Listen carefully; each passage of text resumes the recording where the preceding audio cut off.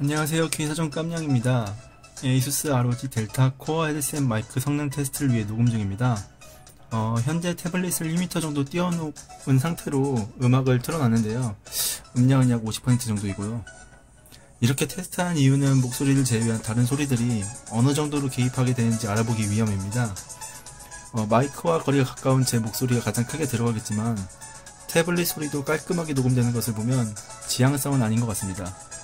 어, 이 정도라면 키보드를 두드리는 소리나 마우스 클릭 소리도 같이 전달되겠지만 의사소통에는 큰 문제가 없을 것으로 보입니다.